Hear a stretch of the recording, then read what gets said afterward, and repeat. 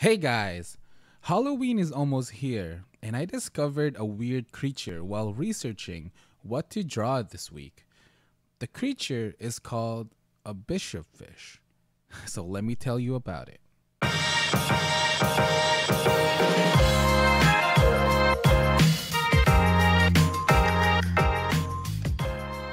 The bishop fish, also known as a sea monk or monkfish, is a type of sea monster that is uniquely European. It was described as having legs instead of a tail, and his pectoral fins have claw like fingers. But it was the shape of his head that gave it its most unique feature. The creature's head has a cone like shape which looks like a bishop's mitre. The existence of the bishop fish was first documented in 1531 by Conrad von Gesner in Historia Animalium. According to legend, a bishop fish was captured off the coast of Poland or Germany and was brought to the king of Poland, who was amazed by the creature and decided to keep it for himself instead of releasing it back to the sea. Rumors started circulating about the sea creature that a group of bishops wanted to see it for themselves. Although official records of this encounter have been lost, destroyed, or been kept secret, many believe that when the group of bishops met the creature, the creature gestured to them its desire to be released.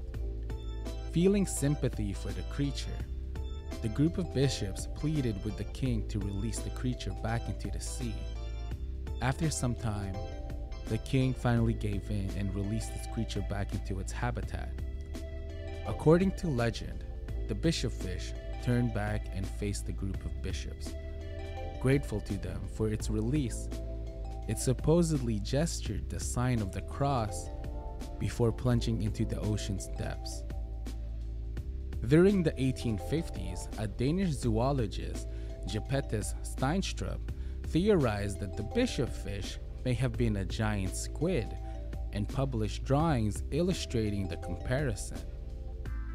But whether the bishop fish is an amalgam of different creatures, or if it was actually a mysterious creature in its own right, we will never know.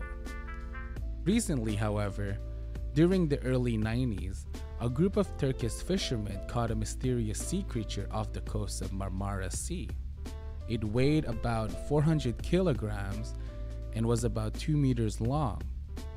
The fish was later sent to Ege University, where it was examined and believed it was a species of fish called Latimeria.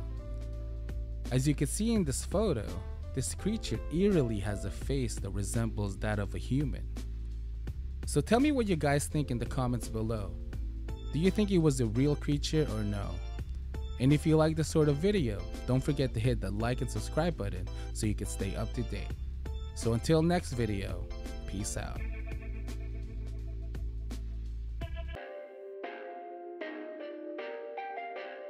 Perfect.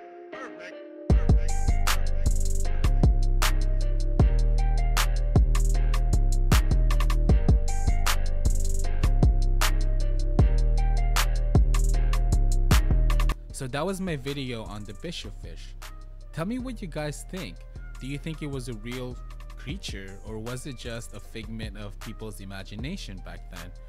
I for one want to think that it was real because we don't really know what's in the ocean, especially in the deep, deep, deep parts of the ocean. It's still unknown to a lot of us.